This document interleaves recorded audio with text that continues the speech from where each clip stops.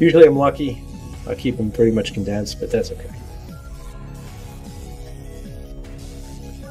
That's what a broom is for. Okay. Once again, apply your flux. Once these are tinned, ready to go. Very easy. Done. Now, you can always do double flux in between. Hit it again, hit it again. And look, perfect.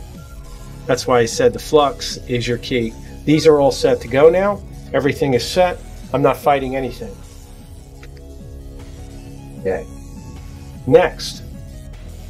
Now you want to organize where you're at, and I use my stay put. Why do I use my stay put? Why did I design my stay put? Because I needed something that was precise, and most of the units on the market are just complete shit.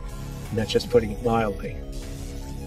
This, totally adjustable, all steel construction.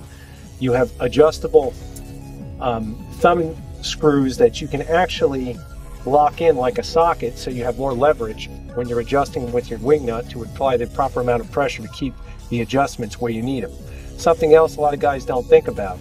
Right now I've got two of the adjustment bars screwed in, but if you didn't want it this size, meaning you don't want to have two adjustment bars, you could just screw in one adjustment bar and go right to the jaw and give you even more clamping pressure. So this unit, every base has been covered. It'll last forever. That was exactly why I designed it.